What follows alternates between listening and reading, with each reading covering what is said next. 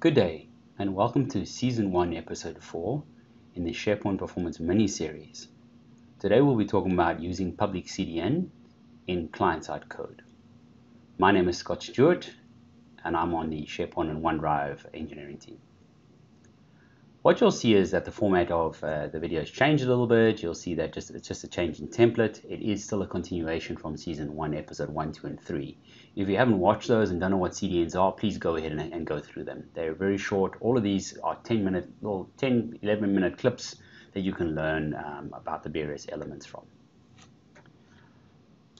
Right, so what are we going to talk about today? A brief, and I'm going to touch briefly. I don't want to drag it on uh, because we do have other videos on this. We'll touch briefly on content delivery networks. Uh, we'll talk about the public CDN page context property, some implementation samples, and then do a quick summary. So what is a CDN? Uh, it is a content delivery network, which is just a cache location in locations around the world um, where it hosts the content in those locations so that it can service that content to the users directly instead of going all the way through to the database to get that content. Now it has a tenant level control with folder levels, which are what we call origins. And I'm not going to go through each of these points, but a couple of key callouts is it uses the HTTP2 protocol, which is important because SharePoint by default uses 1.1, which means you can only have six threads from the browser going and getting information to load on the page at a time, whereas in HTTP2, it doesn't have that limitation. So you'll notice that when you're using uh, CDNs, your images that you get, your JavaScript, your CSS files you get from that do not affect the timeline of the page. And that's the important part. You want the overall timeline of the page reduced and the weight of the page reduced so that users have a better experience and they don't sit waiting. So it's an important point. It's not just a cache location. It is also a case of using the different protocol.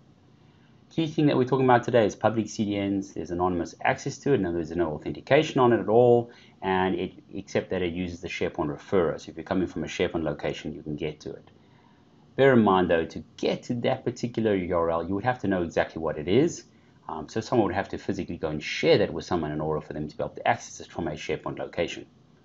Private uh, cannot be hard-coded in the way that I'm going to show you now because it recycles every 60 minutes, means the URL changes every 60 minutes, and it does make use of a, a the first user access and authentication cookie and all that. I'm not going to go into that now. Right, so let's let's actually look at what we're here for today. We have a public CDN page context property. That property is available to you. The first one I'm going to talk about, which is the classic, uh, particularly used in display templates, um, and then I'll go into the SharePoint Framework web parts, which is in modern and classic. Now what you'll notice is this prefix that's highlighted at the top here is publiccdn.sharepointonline.com. This rest of it is what we, we will build up nat or automatically. Um, this particular one, people have, we know people have gone and hard coded this value. We don't want you to do that. So we've given you this property now, and I'm giving you a couple of samples on how to use them. Right, so let's focus on the first one, um, the classic uh, window dot underscore sp page context info dot public cdn base URL. Let me jump to that, and if you have a look at that, I know it's code on the screen, not super easy to read, um, but you'll notice that we are not just using the value here as you saw. We are actually doing a check in front of it. And the reason we're doing a check is because we update these content delivery networks uh, all the time. Um, and we add more and more functionality, meaning that as we add it, we, you'll see that even though you've written code, hey, I'm getting it back already, I don't need the code anymore. So in order for you to not have to go change all that code, if you simply do a check, which is to see that the value of the public CDN um, URL is, is already, already exists in your URL, you, it will simply skip over your code and that's a recommended way to do that. Um, don't go re don't go change it if you don't need to change it. And then we actually go set the value. So only if it doesn't have it, set the value. So let me jump into a display template very quickly and show you what that looks like.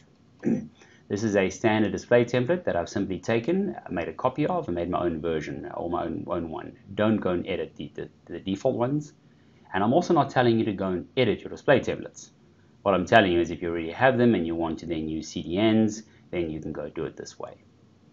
I've taken the picture on left with three lines on right uh, default one and I've then added hey from CDN in it so that I can differentiate which are mine.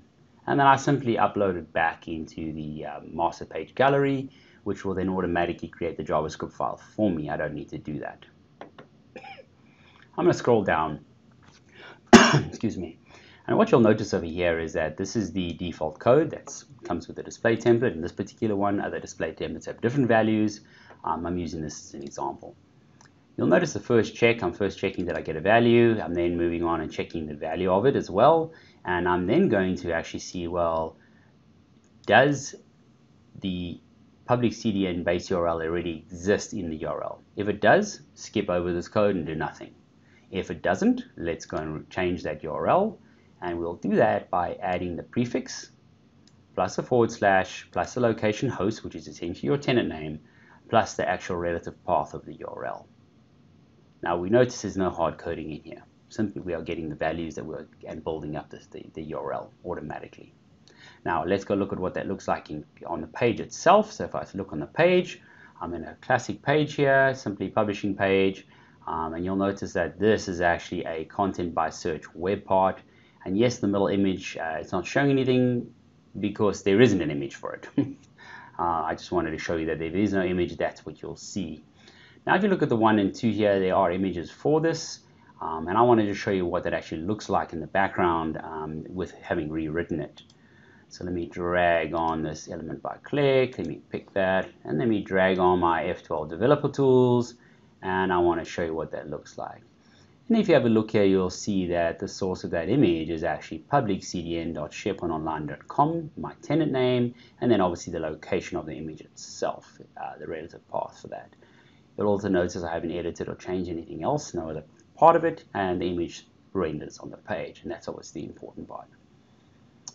Right, so let me drag it out of the way here, or get that out of my way, um, and you can see that it's successfully loaded there.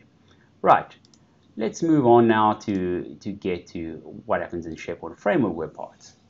Here's a quick sample, and this SharePoint Framework web parts, as you know, works in Modern and Classic. If you want to know how to build them from scratch, go to SharePoint PNP, and you'll be able to see that. There's lots of samples there, there's lots of videos on the SP PNP videos um, link, and um, that detail is available at the end of the slide.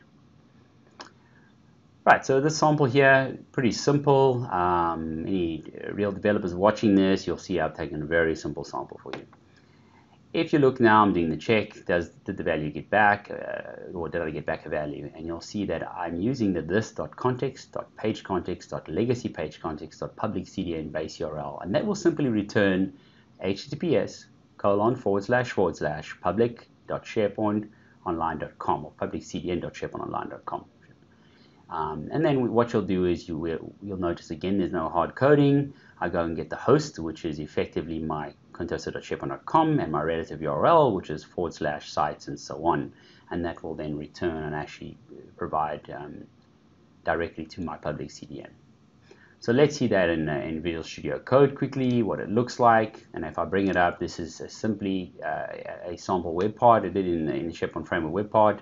Um, and you'll notice that I have a property on my web part where I've set the relative path for it. That's just my simple way to show you if you're obviously using a search web part um, or you were, you were getting the, the actual um, file back and other means, you would need to obviously then use that value.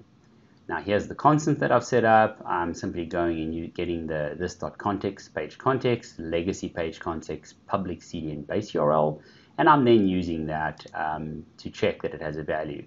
Again, an example, and this is just an example, if you had a variable that had the URL in, this would be your variable name, and you could do an index of check against it to see does the, was the URL already rewritten. If it was already rewritten, obviously leave it alone, and you could then put that check over here. In my particular case, I know it, it wasn't rewritten, so I'm not doing that check, um, just for simplicity for this sample. And what you'll notice there is I'm getting the Windows location host here. Um, and you'll notice it there. There is my public CDN base URL, and you'll see it's publiccdn.sharepointonline.com is what I'm putting in this one here. This is my contoso.sharepoint.com sample, and therefore that's the host. And then there's my relative path as an example in this case. and I've built it all up and I return the image URL. Notice nothing is hard coded. Um, so obviously it has a longer, a longer lifespan um, should we change and when we change some of the URLs. All right, let's see that data in action. Um, if I go back to my page, and yes, I know it's an ugly page, but I just wanted to show you a quick example.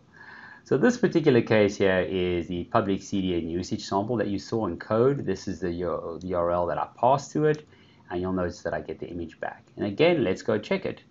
If I now pull up uh, my, drag that out for a moment, let me go select this image, and you'll notice if I pick it and bring it back, you'll see that it is reading from the public CDN sharepointonline.com.